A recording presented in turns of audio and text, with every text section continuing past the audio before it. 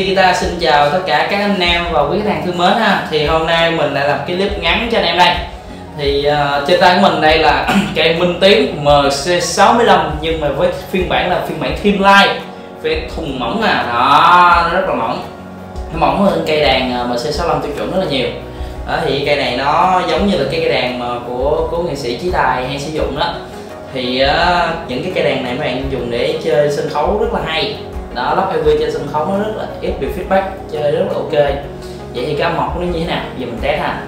Này.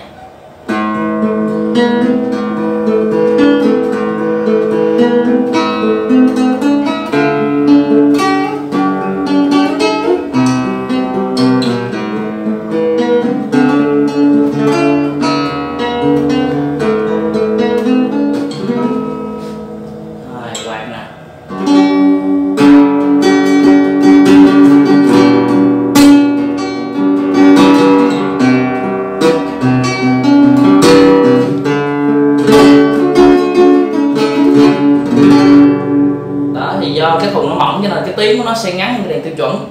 Đó, thì các bạn chơi quy rất là hay. Nhưng mà có tiếng thì các bạn chơi mọc thì nó vẫn sẽ nghe cũng rất là ok các bạn.